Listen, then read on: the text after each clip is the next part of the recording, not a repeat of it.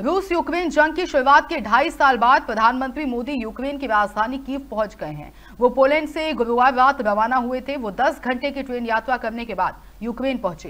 प्रधानमंत्री मोदी यूक्रेन की राजधानी कीव में सात घंटे बिताएँगे। यूक्रेन के दौरे पर जाने वाले पीएम मोदी पहले भारतीय प्रधानमंत्री हैं। उन्नीस सौ इक्यानवे में सोवियत संघ के टूटने के कारण यूक्रेन के बनने के बाद से कोई भी भारतीय प्रधानमंत्री यूक्रेन नहीं गया था। पीएम मोदी का ये दौरा खास इसलिए भी है 24 फरवरी 2022 को जब रूस ने यूक्रेन पर हमला किया था, तब से नाटो देशों के अलावा किसी अन्य देश के नेता ने यूक्रेन का दौरा नहीं किया है। यूक्रेन के राष्ट्रपति जेलेंस्की ने कुछ महीने पहले पीएम मोदी को यूक्रेन आने का न्यौता दिया था। इससे पहले मोदी और जेलेंस्की ने मई 2023 में जापान में जी समिट के दौरान जंग के बाद पहली बार मुलाकात की थी।